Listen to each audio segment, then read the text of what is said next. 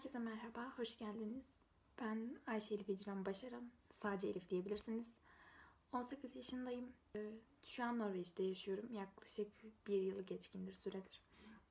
Öncelikle kanalı açma sebebim birçok insanın aç, güzel olur ve benim isteğim üzerine açıl, açıyorum şu an. ilk videomu atıyorum. Güzel ve sıcak bir günden. Gerçekten nadir bulunan bir gün burada.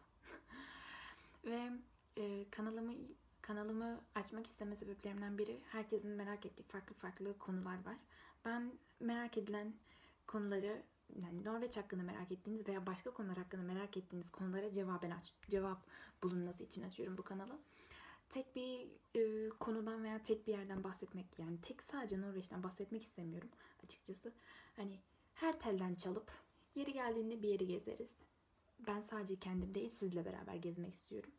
Yeri geldiğinde bir yeri gezeriz. Yeri geldiğinde bir şeyler öğreniriz.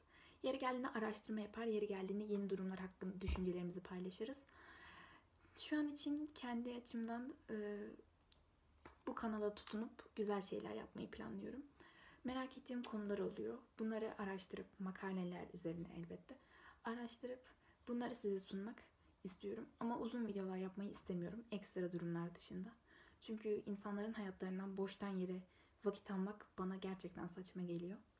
Ben hep beraber Norveç ile Türkiye arasındaki farkları konuşuruz. Norveç'te bulunan durumları konuşuruz. Sadece bunlarla konuşmayalım.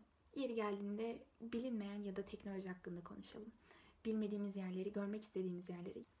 Güzel güzel şeyler yapalım istiyorum. Herkesin bilgilenmesi açısından bu kanalı açıyorum. Şu an için e, buradaki durumum lise 3'ü bitirip Türkiye'den geldim. Ve burada bir ara sınıfa gideceğim. Ardından tekrar burada liseye başlayacağım. Şu anki durumum böyle gözüküyor. Norveç hakkında kısa bilgi vermek gerekirse az insan var burada. 5 milyon insan Ankara'dan az. Hmm, Öyle. Şu an biraz heyecanlıyım ilk video olduğu için. Herkese görüşmek üzere. Kendinize iyi bakın. Bir sonraki videoyu hep beraber karar verebiliriz belki. İyi günler.